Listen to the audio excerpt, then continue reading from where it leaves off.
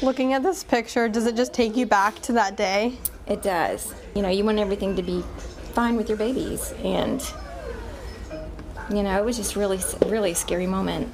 It's a story that's followed Cheyenne Bledsoe her entire life. So my parents had always, always told me when I was around 15 months old, um, I suffered a seizure. It was in February of 1995. We're sitting down for dinner and um, we look over and Cheyenne, who was 15 months at the time, was turning blue. In a panic, the first time parents headed straight for the hospital. They came across an ambulance sitting at a gas station.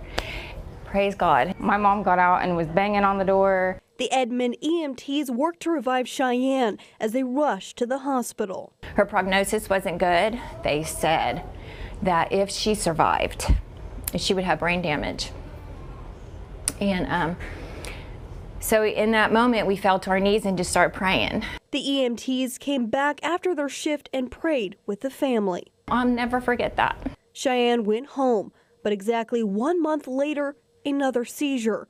This time, help came knocking on their door.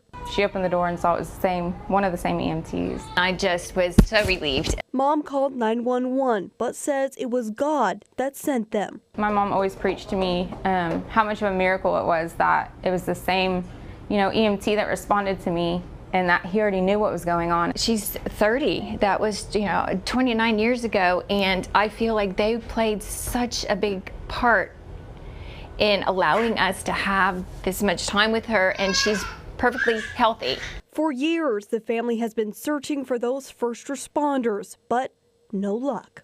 I wrote their names down, and along the line, along the way, I misplaced their names. They were long-haired. One of them owned Taekwondo um, business up in Edmond. Since I couldn't find them, I just um, prayed for them and their families um, over the years. Sorry. Now a mother herself, Cheyenne says she wants to thank her heroes for the life they've given her.